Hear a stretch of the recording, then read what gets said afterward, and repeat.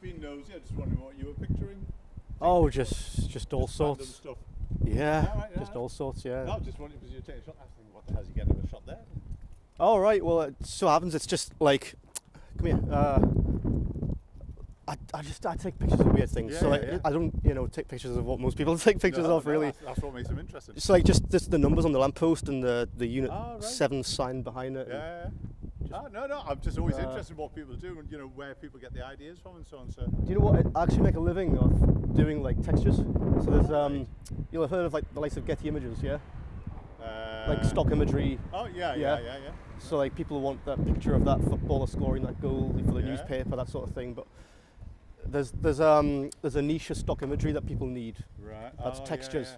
Well, sometimes Um, you see them on like adverts. There's obviously a, or games. Well, this is it. So like you know, uh, game developers, graphics designers, uh, photographers even need Yeah. like textures to overlay onto like Yeah. you know g- games designers more than anybody. Yeah. Uh, e- even the computer games of like the 80s and the 90s Yeah. used pictures of something for like a like a like a sprite or a tile and Yeah. so it's stuff like the, the concrete wall there Yeah. it's like well, I just know there's one picture uh, I've got that I love, and it was a metal metal bridge with the Yeah. round-headed rivets in. Yeah. It's all covered in like lightning and so on. yeah so it's, it's exactly yeah. stuff like that and it's like whether it be old rotten like the the containers that are over there for Yeah. example like you Yeah. know peeling paint with rust coming out from behind Yeah. that's like pure proper proper good texture but even things like like brand new concrete walls or Yeah. you know with um, or even just brand new laid con- like Yeah, 'cause I tarmac mean, or you see with something computer games or even like films nowadays with the CGI Yeah. that use a bit of that but expand Yeah. it up and make a concrete wall in the film. Yeah.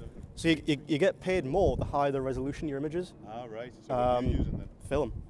So Oh, when, I, when I scan the, the frame of film, Yeah. um, using I've got a dedicated 35mm scanner, Right. and the more times you scan a frame, the more it sort of interpolates and, and increases the file size. But even just with one scan, I can do equivalent to like a 75 megapixel camera. It's it's it, you know.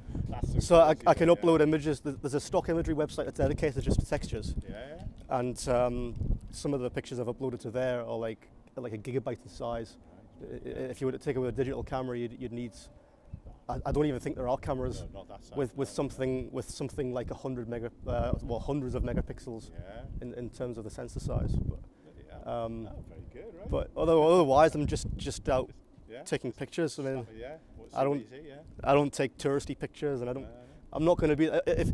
You know, if, if we were stood in front of the Eiffel Tower, you'll be taking a picture of the Eiffel Tower, taking a sit at the selfie. and so, And yeah. I'll, I'll be taking a picture of the way that, that you know the way the way that fence post is bent with all the others that are nice, nice perfectly straight. Yeah.